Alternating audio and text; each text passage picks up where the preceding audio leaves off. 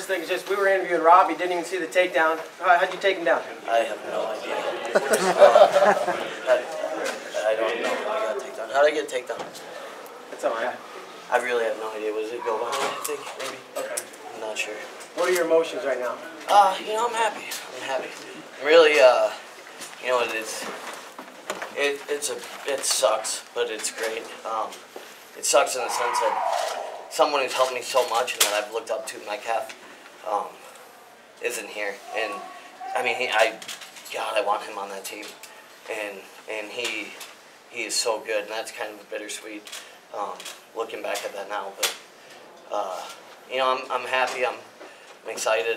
Uh, there's a lot of people that I want to thank, um, but you know, they're they'll get a thank a thanking from me after this at my house somewhere.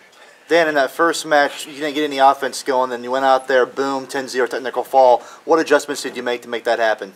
You know, keeping the pressure, and he, uh, you know, I haven't wrestled Tony in a really long time. In the first match, he clubbed the hell out of me right on the whistle, and I saw stars, and I was like, holy cow, I forgot how strong he was. Um, and it like rattled me a little bit, and then I, I kind of knew I was in a battle.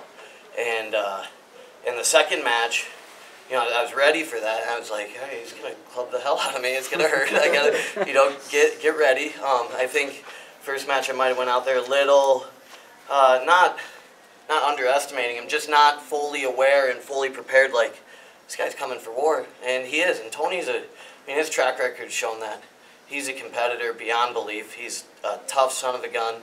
Um, there's no doubt about that and uh, he clubbed the hell out of me the first match. I was like, whoa, he rattled me a little bit, and uh, I, don't know if I didn't get in my own groove or or what. And then uh, second match, the pace was a little bit higher, and uh, you know I, am confident if I get on top, I can I can do some damage, and uh, you know that's what I've known that, and that's what the coaches have been telling me for a while, and I've known that for a while, and uh, you know taking advantage of those positions where I am strong. And and that's what I was really, as soon as I got on top of him, give me my gut, give me my gut.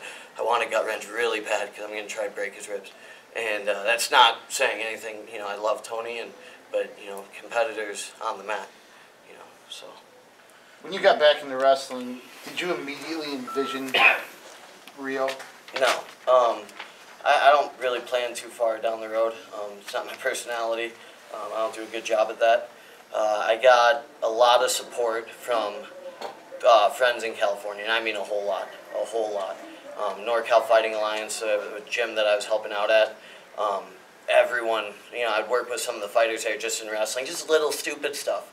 And uh, very, very um, grateful and very encouraging when I, uh, and then one of the other guys that I actually lived with for a little bit, he, uh, I, I, I mentioned it, I just brought it up just to kind of test the waters about maybe competing again. And he's like, you got to do it. He, he, I mean, he was glowing. He was excited. And that was one of those things where, I mean, like, I just said it, you know, I was just kind of testing waters. Awesome.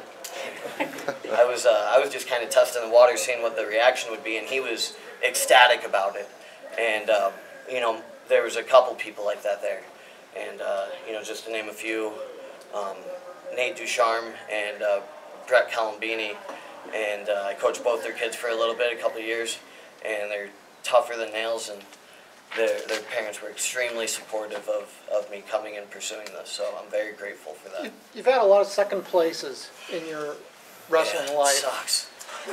what, what is the difference now? Uh, it, I mean, winning and not losing, but uh, I, I think the consistency.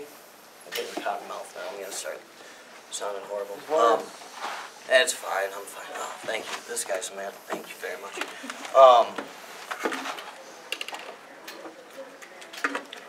um, Tom said it once about uh, exercising some demons or something. He said it a little bit more, uh, you know, maybe dramatic. Um, but I think the consistency of finishing strong and uh, has become more a part of my wrestling. Um, not having something in the palm of your hands and watching it slip through and you know devastating you and being able to stay strong throughout the match, stay consistent is uh, you know where I think I've probably developed a little bit. Dan, you mentioned uh, Brent. It sucks that he's not going on. Yeah. How much did his result motivate you to make sure Hawkeye Wrestling Club had someone representing? You know, uh, I know the the real noble, um, correct answers and motivated me a lot, but really it, it made me sad hearing that he uh, he didn't qualify, and then he called me. I mean, it was a minute and a half conversation, maybe, and uh, you know he I know he's just a hurt soldier, you know, and uh, he took the time to call me, and, uh, and then he texted me today. It was like just little things like that, little insignificant to most people, mean the world to me, and uh, you know that's what I'm I'm grateful for him as a teammate. When, at, at any point during your career, did you think, you know what, I could be legitimate and be an Olympian? Uh, I don't know that there was a certain time. Um, like I said, when I when I got talked back, when I started competing again, I, I was signed up for one competition, and uh, one competition led to another, and that led to another, and that led trip to overseas, and then it was, here you are, you know. But um, I don't think it really came into fruition.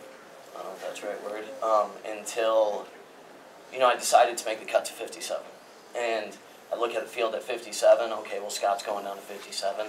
I beat him. I think I can do well with him. And Scott, and again, not talking bad about Scott's probably the best wrestler at the weight. He's good. He's good. He didn't win um, today, but you know who's to say he won some other time? He's a great wrestler. Um, but I don't know that I, I really necessarily, when I came back, I was like I'm going to be an Olympian um, more than all right. I'm cutting down to 57. What? I don't. I think I can beat everybody. Um, I'm not saying I'm the best, but I think I can. I can beat everybody as long as I wrestle well and solid and where I'm good. I feel like I can beat everyone. So when I decided to cut down to 57, I was like, you know, I can, I can, I can go to Rio. I can do well there. You said in an interview earlier that you feel that some of your opponents had a greater pedigree than what you did. Do you feel now that you're an Olympian? You feel now that you're an Olympian that, that you have you're on the same par as they are? I, um, I think I can beat anybody. Um, I don't like comparing apples to oranges, you know. Um, to me, and that's what it is to me.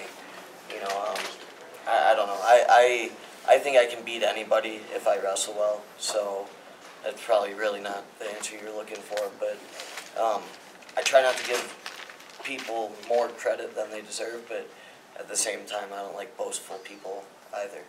So I don't want to be one of those. One more question. So on your accomplishment scale, where does this rate, uh, on your accomplishment scale in wrestling?